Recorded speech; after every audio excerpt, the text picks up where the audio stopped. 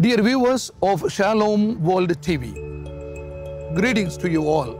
I'm Bishop Nazarene, Bishop of Kottar, this particular diocese, where Martyr Devasahayam was martyred. First of all, God has granted us a beautiful saint.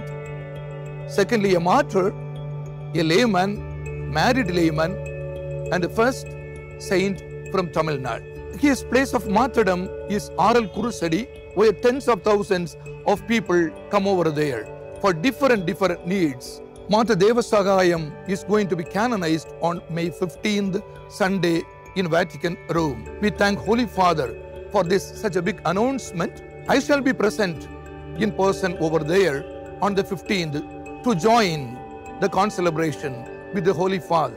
I know for certain most of us may not be able to be present over there. However, Shalom World TV makes an exclusive coverage to give you a live telecast. Therefore, you can be at home, view this program, and may Mother Devasahayam intercede for all of us.